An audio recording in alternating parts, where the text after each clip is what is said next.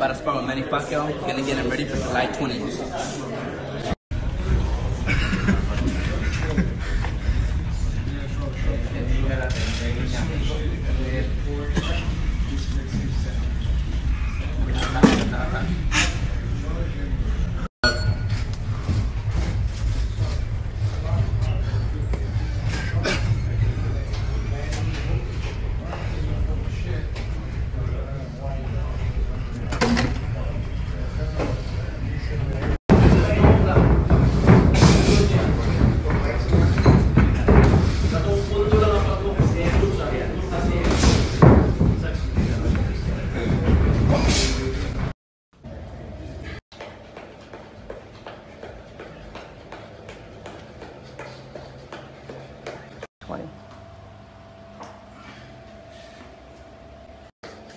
Eight, nine, six.